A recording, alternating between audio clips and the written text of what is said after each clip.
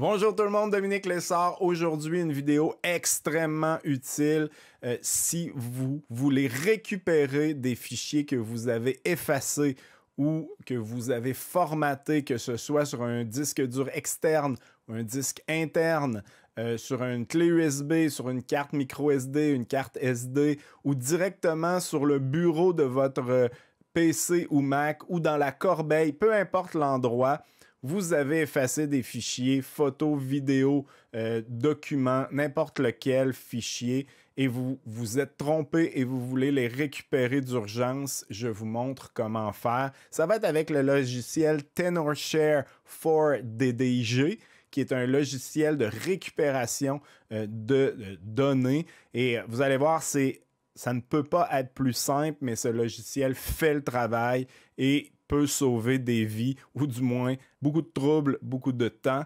Donc, euh, on va regarder comment faire. Et bien sûr, si le logiciel vous intéresse, j'ai mis le lien en description et euh, vous allez pouvoir télécharger ce logiciel. Donc, on va aller voir ça. Alors, si vous cliquez sur le lien que j'ai mis en description, vous allez arriver directement sur la page de téléchargement du logiciel for DDIG pour Windows. Mais il y a un lien ici, si vous êtes sur Mac, euh, vous cliquez ici pour télécharger. Moi, je vais faire la démo euh, en Windows mais Mac, c'est disponible ici. Donc, on clique ici pour télécharger. Euh, je vous montre rapidement, euh, regardez, récupération des fichiers supprimés, récupération de disques formatés. Si vous avez formaté votre disque au complet, vous pouvez quand même récupérer vos photos, vidéos dessus. C'est très pratique. Euh, récupération au niveau des, des, partitions. Si vous avez éliminé une partition, vous pouvez aller récupérer. Récupération de périphériques externes. Donc là, on va parler, comme je l'expliquais, de disques durs, cartes SD, micro SD, euh, les clés USB, euh, peu importe, tous les périphériques, vous allez pouvoir récupérer dessus. récupération d'un ordinateur en panne, on va voir ça. Je vais vous montrer une petite fonction aussi euh, qui peut être pratique en option. Euh, plus de 1000 types de données que vous pouvez récupérer. Donc, tous les types de photos, vidéos, audio, les documents, email, archives, autres. Donc, euh, très pratique. Donc, lorsque vous allez cliquer ici, vous allez télécharger ce petit exécutable.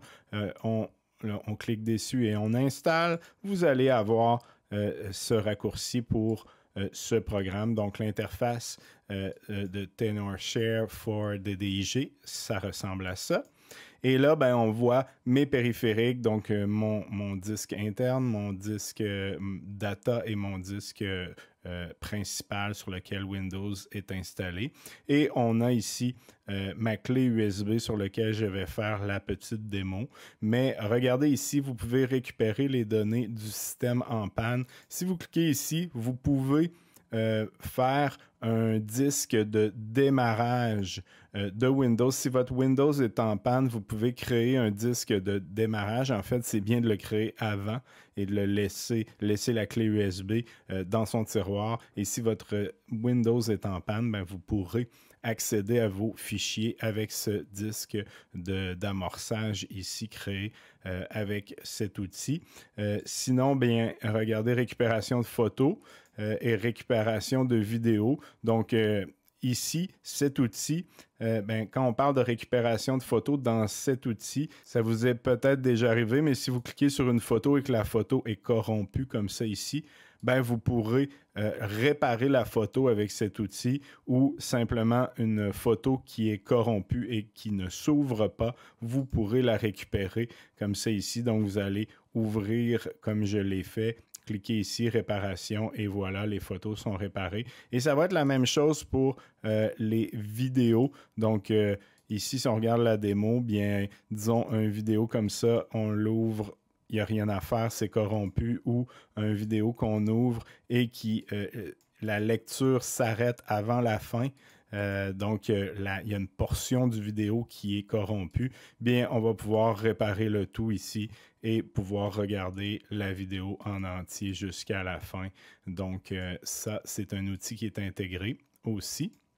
Mais nous, ce qu'on va faire, euh, ça va être directement sur la clé USB. Alors voilà, j'ai ma clé USB ici, Kingston, euh, ici E, et j'ai des photos, euh, des PNG sur cette clé. C'est la même photo euh, plusieurs fois, mais c'est simplement pour la démo.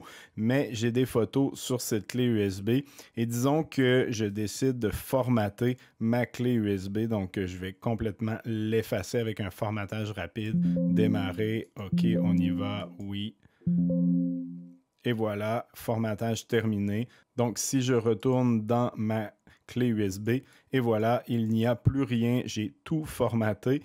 Mais prenons l'exemple où j'aurais fait une erreur et j'aurais formaté photo, vidéo, fichier hyper important.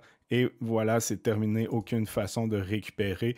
Eh bien non, ce qu'on va faire, c'est qu'on va ouvrir le logiciel ici, on va aller sur notre Kingston ici, on va réanalyser parce que je l'ai déjà fait pour le tester une première fois. Et voilà, il va analyser pour trouver tous ces types de documents, analyser pour tous les types de documents et on laisse aller comme ça. L'analyse va prendre un certain temps. Je vais accélérer la chose pour vous euh, montrer. Et voilà, une fois l'analyse terminée, on voit qu'il a trouvé 139 fichiers. Bien sûr, je n'avais pas 139 images, mais il a aussi trouvé les anciens fichiers qui ont été euh, placés sur cette clé USB au fil du temps. Euh, petit vous pouvez utiliser ça aussi si vous trouvez une clé USB. Vous pouvez utiliser le logiciel pour voir ce qu'il y avait sur cette clé. Ça peut être rigolo. Mais euh, voilà, donc euh, on a ici les fichiers. Alors on voit que toutes mes photos sont ici. Euh, donc pour les récupérer, ben, je vais simplement les sélectionner ou je peux sélectionner celles que je désire et je vais cliquer ici sur récupérer. Et là, je peux les envoyer à l'endroit de mon choix, sur mon bureau, sur un périphérique, autre, euh, sur n'importe quel disque. Donc, je vais les mettre ici euh, dans, euh, sur le bureau et je vais même créer un nouveau dossier. je vais l'appeler récup et on va mettre ça à l'intérieur ici. Donc, on voit que mon dossier a été créé ici. Je fais récupérer comme ça et voilà. Et je vais aller voir dans récup ici on a ici le, dossier qui a été créé automatiquement, comme ça. Et voilà, mes photos ont été récupérées. Euh, très facile, donc euh, utilisation impeccable, rapide, facile à faire et ça peut sauver des vies. Alors j'espère que cette vidéo a été utile. N'oubliez pas, le lien est en description. Et euh, si ça vous a été utile, écrivez-le en commentaire, faites un j'aime, ça va aider à propulser cette vidéo et je vous en remercie beaucoup. Et sinon, bien, regardez cette vidéo et euh, vous allez en apprendre plus sur la sauvegarde de vos fichiers, mais aussi euh, sur plusieurs erreurs qu'on peut faire en utilisant Windows. Donc, regardez cette vidéo et sinon, on se revoit la semaine prochaine pour une nouvelle vidéo.